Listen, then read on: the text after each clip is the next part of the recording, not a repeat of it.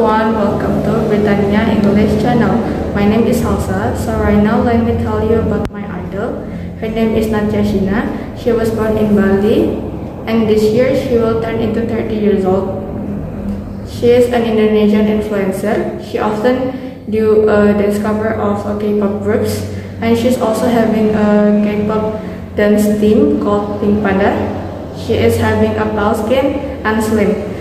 The reason why I like her is because she's so talented, she's so pretty, she dances really well, and she's also a very passionate person. So that's all about my idol. Thank you!